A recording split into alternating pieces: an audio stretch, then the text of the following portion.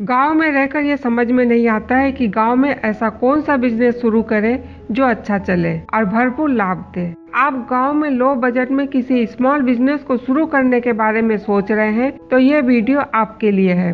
Business मंत्रा channel के माध्यम से ग्रामीण बिज़नेस के अंतर्गत गाँव में किए जाने वाले ऐसे बिज़नेस के बारे में जानकारी देते हैं, जिसे लो बजट में गाँव में आसानी से शुरू किया जा सके। उन बिज़नेस के बारे में जानना चाहते हैं तो वीडियो में हमारे साथ अंत तक बने रहे। Hello friends business Mantra YouTube channel पर आपका स्वागत है। गाँव में ऐसे बहुत से बिज़नेस हैं, जिन्हें बहुत ही आसानी से किए जा सकते हैं। यहाँ हम गाँव में किए जाने वाले कृषि से संबंधित पाँच स्मॉल बिज़नेस के बारे में जानकारी दे रहे हैं, जिन्हें आप गाँव या शहर में रहकर आसानी से कर सकते हैं। पहला है कृषि कंसल्टेंसी कृषि कंसल्टेंसी यानी खेती के बारे में जानकारी देना। खेती के प्रति लोगों का लगाव बढ़ रहा है। गाँव में कृषि तो करना चाहते हैं, लेकिन उनके सामने समस्या आती है कि कौन से फ़सल की खेती करें, कौन सी फ़सल की खेती कब करें और सबसे बड़ी समस्या उसे कैसे करें। इन बातों की जानकारी के लिए, इन सब बातों की जानकारी के लिए वे ऐसे लोगों की तलाश करते हैं जिसे इसके बारे में अच्छा नॉलेज हो। यदि आपको खेती के बारे में अच्छा नॉलेज है तो कृषि कंसल्टेंसी का बिज़नेस शुरू कर सकते हैं। कृषि कंसल्टेंसी लेने वाले कस्टमर से आप फ़ीस ले सकते हैं। शुरू शुरू में आप कम फ़ीस पर इसे शुरू करें। डिमांड बढ़ जाने पर फ़ीस बढ़ा सकते हैं। दूसरा बिज़नेस है cactus plant nursery cactus plant nursery सुनकर मन में यह बात आ रही होगी कि कैक्टस कौन खरीदता होगा। क्योंकि कैक्टस प्लांट का इस्तेमाल घरों में सजावट के तौर पर किया जाता है।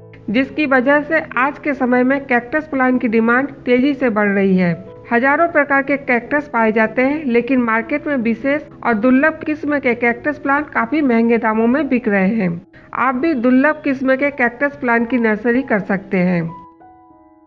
बोनसाई प्लांट का बिज़नेस कम निवेश में शुरू किया जाने वाला बोनसाई प्लांट का बिज़नेस काफ़ी मुनाफे देने वाला बिज़नेस है। यदि आपको बोनसाई प्लांट तैयार करना आता है तो अच्छी बात है नहीं आता है तो आप मार्केट से बोनसाई प्लांट खरीद कर लाए और इसकी मार्केटिंग करें।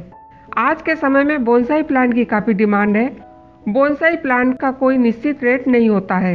कस्टमर की रुचि और हैसियत को देखकर मन चाहे रेट पर इसे बेच सकते हैं।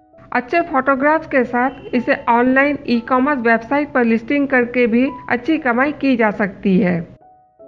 Good luck bamboo good luck bamboo की डिमांड भी मार्केट में बहुत है। इसकी कीमत इंच के हिसाब से तय होती है।